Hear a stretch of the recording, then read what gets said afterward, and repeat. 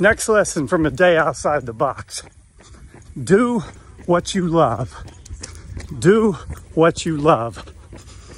There is a Japanese term called ikigai.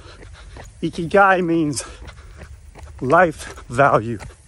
It means finding value in life. It basically is what we in the Western world talk about our why.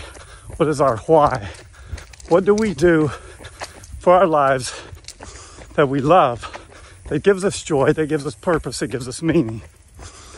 I went around to these offices and I had the pleasure of speaking with three physicians who are well past retirement age, and yet they are still doing what they love.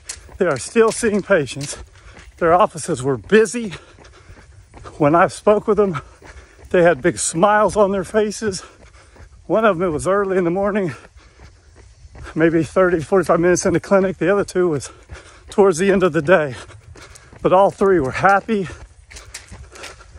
bright faces, smiling.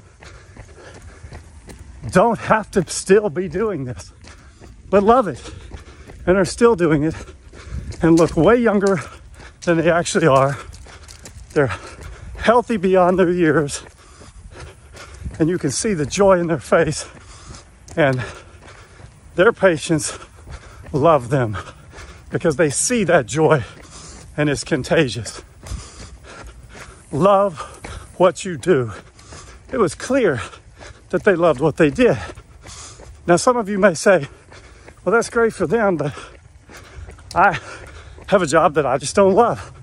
I don't love what I do. I hate being at work. I want to retire now, but I can't. It affects my attitude and my life. Then you have to find something else that you love to do. And if you can, and you're able to switch jobs, find a different job that you love to do, then that's amazing. But if you can't, I have another idea. But tune in for it tomorrow. So for the lesson for the day, love what you do. Don't see it as a burden. Don't see it as a task. See it as what you were meant to do, what your purpose is, and find the joy in it. Moyo, everywhere we go.